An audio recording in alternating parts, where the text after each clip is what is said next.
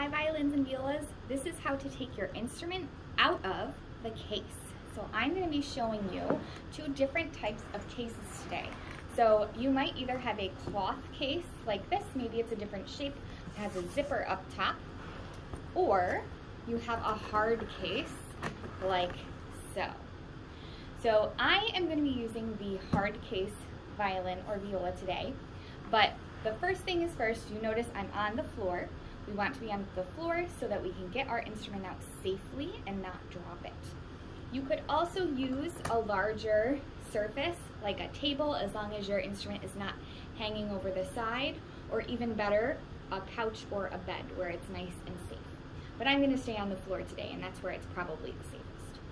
So the first thing is that you want your case on the floor on the right side up. So this hard case has a bump and that is the top side. So we wanna lay it in front of us with the handle facing us. If you're using the zipper case, that top zipper is going to be on the top and again, your handle facing you.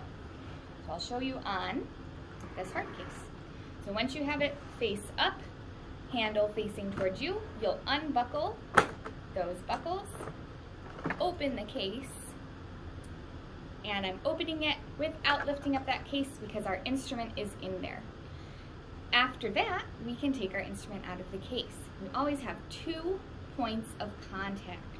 We take our instrument up by the neck, that's this part here, never by the strings or by the bridge or any of these parts on top of our instrument. That's very careful.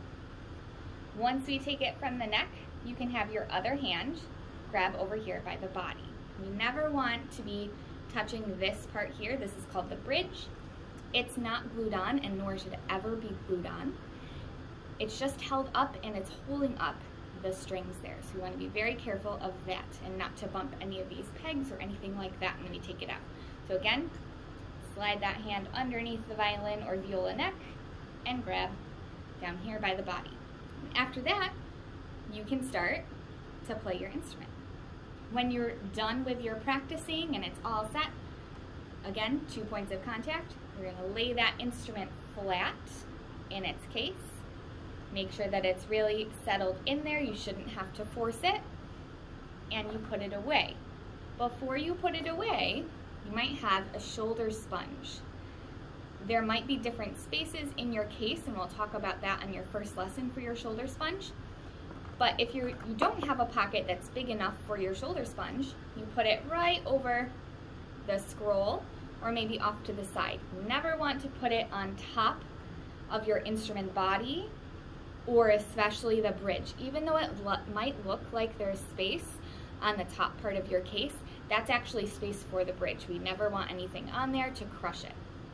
So once that shoulder rest is in there, we close up our case, make sure those clasps are completely done up or the zippers all the way around if you have a zipper case.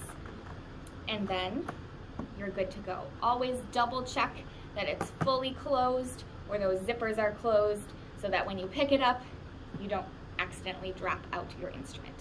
The only other thing to mention is some cases have an extra little seat belt, that's what I call it, that goes over and around the violin or viola neck. And that's just an extra step that you can do, and that just helps hold it in there to avoid any accidents. And that's how you put in and take out your violin or viola from your case.